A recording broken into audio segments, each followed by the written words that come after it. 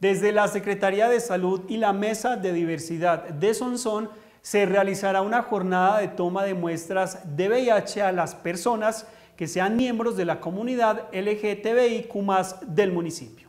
Las personas interesadas en hacer parte de la jornada de toma de muestras deben realizar una inscripción previa en la línea telefónica 320-688-7032. El plan de intervenciones colectivas es un convenio que se tiene entre el municipio de Sonsón y la ESI Hospital San Juan de Dios y queremos abordar ahí a toda la población en general y obviamente eh, la población LGTBI no puede estar por fuera de este proceso. Entonces estamos eh, realizando o programando una serie de actividades eh, este año para que ellos puedan acceder a algunos servicios. Dentro de ellos estamos promocionando unas pruebas de laboratorio, la prueba de VIH y serología, que obviamente no son obligatorias, que son gratuitas para esta población, que obviamente van acompañadas de procesos formativos y que lo que queremos es abordarlos de una manera integral desde el tema de promoción y prevención. Entonces lo que buscamos básicamente es poderles ofertar a esta población estas pruebas de laboratorio, pero también acompañar de los procesos formativos, que es lo más importante,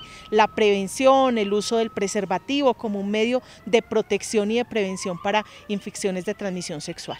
Para las personas interesadas en hacer parte de la jornada de toma de muestras de VIH, se les recuerda que los requisitos a cumplir son mínimos, así como la gratuidad del procedimiento. El requisito es ser perteneciente a la población LGTBIQ+, eh, las inscripciones las pueden realizar al celular 314-896-5137 o al 320-688-7032.